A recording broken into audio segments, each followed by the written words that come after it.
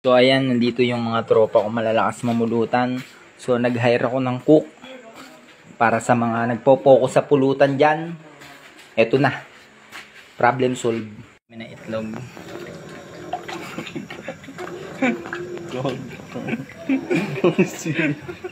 mga cook.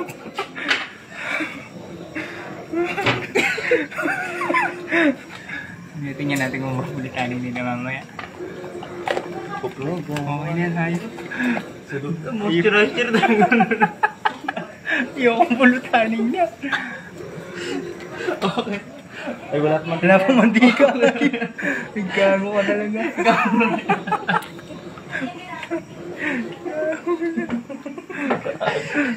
A few moments later. Edward? Ha? Lahat ng movie. Ah, hindi. Dito ko din siguro nanonood ng ano. Hentai, ano. Hindi, walang hintay niya. Walang hentai, ano lang. Anime lang pala. Ayan, mamaya ng mga alas 12 yan. Teka lang, ipak lang ako. Mukhang, kal mukhang kalagitnaan ng init ng